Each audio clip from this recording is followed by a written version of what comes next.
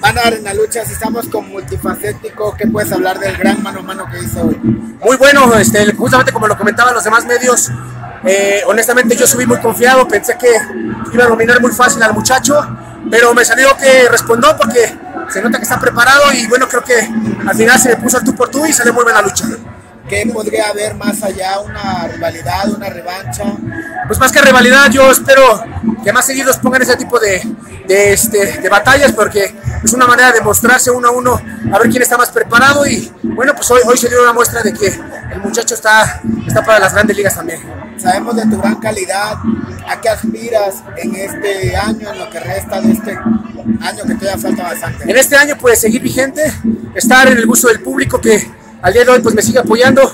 Hoy es la primera vez que me presento en esta arena y la arena en todo momento pues me estuvo apoyando, ¿no? Eso es importante para Multifacético porque como bien lo, lo, lo, lo observaste al final de la batalla en un lance fallido, este, logré sacar fuerzas de flaqueza y bueno pues el triunfo se quedó de este lado. ¿Qué mensaje le das a toda la afición que te sigue?